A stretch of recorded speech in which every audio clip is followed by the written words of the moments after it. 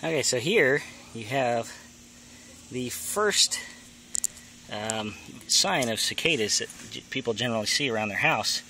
Uh, you see these these cast skins where they crawl up on a tree or on a wall or something, and then they um, let's get the focus here, and then they uh, shed these skins and give themselves. You can see they just pop out of the back there. Uh, that's where they molt into the adult form, which we see over here, where they have the wings now. Now, obviously, this isn't the same size uh, cicada that we see with the molted skin there, but uh, they come out in this adult form. They get in those trees and they make that clicking metallic buzzing sound that you hear usually in through June and July.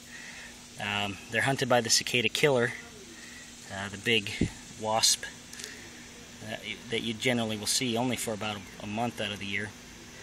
And um, these guys get in the trees, they make that, that mating call, lay their eggs within the bark, and um, generally you don't hear from them again after July or uh, even August in the latest phase from what I can tell. And um, then they come back next year and they start all over again. But uh, they don't do too much damage unless you really let them go in the tree. Um, Otherwise, they're just sort of a nuisance.